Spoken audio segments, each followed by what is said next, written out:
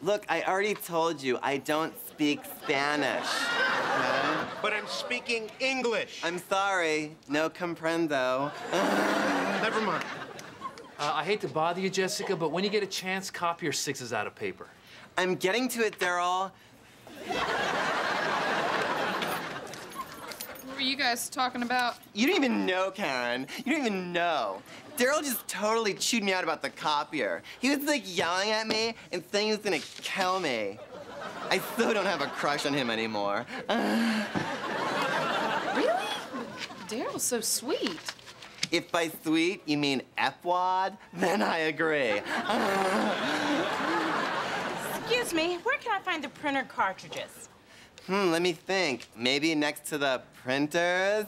Uh, Well, where are the printers? hmm, that's a tough one. I'd have to say next to the printer cartridges. Oh my god. Uh, stupid. Look, is there anybody here who can help me? I don't know, maybe a plastic surgeon? I am so bad. Excuse me? Ma'am, printer cartridges are on aisle seven. Thank you.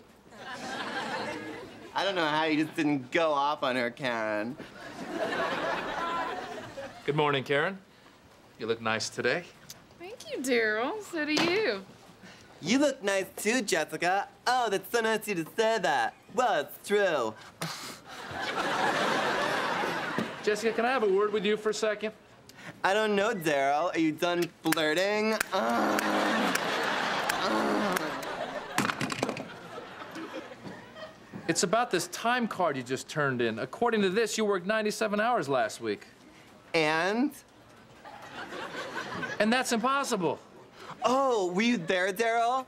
Do you know where I am every second of the day? Do you know for a fact that I was not here 97 hours last week? Yes, because we're not open 97 hours a week. Oh my god, that is so not the point. What is the point? You don't even know, Daryl, okay? I have to put up with so much crap around here, it's not even funny. I don't even know why they call it Death Supply Depot. They should call it Death Supply D-Wad. Jessica, you're fired. Uh, whatever. I didn't even want to work in this place anymore anyway.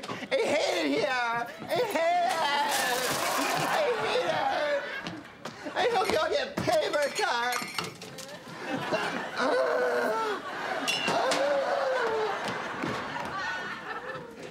You guys have envelopes? You don't even know, guys. You don't even know.